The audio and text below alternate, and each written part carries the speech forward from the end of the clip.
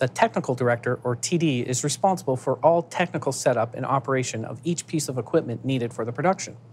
This includes making sure that all the sources necessary for the production are functioning properly and are connected to the switcher and can be seen and heard. These sources can include cameras, video playback, and graphics. The secondary part of the TD's position is the operation of the switcher while the production is going on. This means they need to have full understanding of the video switcher and its functions. In this video, we will discuss the technical setup. Now, when arriving at the production, the TD should check with all the stations, cameras and video shaders and graphics, making sure that they are all working properly and that all of their technical needs are met. They should also make sure that all the sources are coming into the switcher properly and that the outputs are properly going to their needed locations.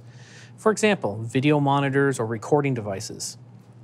When everyone has set up their stations, the TD will perform what is called a fax check. Now, a fax check is when everyone gets to their stations as if they're ready to do the production. The TD will go through every station one at a time, making sure everything works, such as the intercom and the graphics keys, tallies, and back focus for cameras. The cameras will also make sure they have video returns if available, as well as prompter feeds if that's necessary. This is usually the last step before production begins, and it ensures all the technical aspects are functioning properly, so there are no surprises. This is the technical setup portion of the TD's job.